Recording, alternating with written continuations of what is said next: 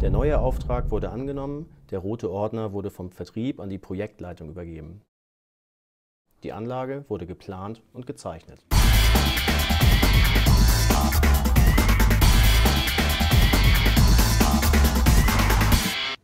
Bringen ja meturiert.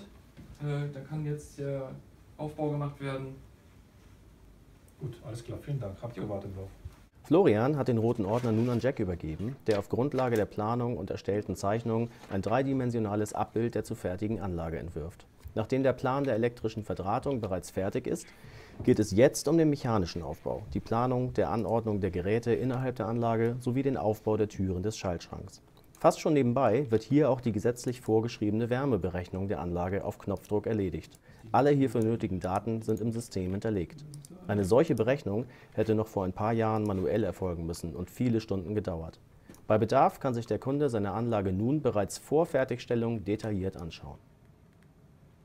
Klaas, ich habe hier dein Projekt fertig gemacht. Okay, danke. Dann können wir es in die Werkstatt geben. Wunderbar. Klaas hat den roten Ordner zurück und kontrolliert die fertigen Pläne noch einmal. Wenn alles in Ordnung ist, werden die Daten an das ERP-System überspielt und damit die Bestellung des benötigten Materials vorbereitet. Jetzt kann er den Auftrag an die Fertigung geben. Hallo Stefan. Hallo. So, Metroria. Das Projekt soweit fertig. Den Schaltplan hier, die Checkliste. Aber wenn Fragen sind, könnt ihr gerne auf mich zukommen. Soweit alles erklärt. Material ist bestellt. Okay.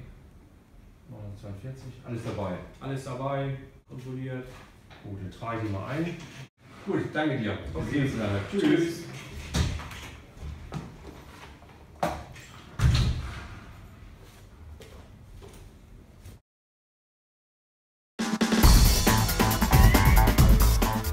In der nächsten Folge wird das Material geliefert und zusammengestellt. Das Projekt geht in die Fertigungsphase.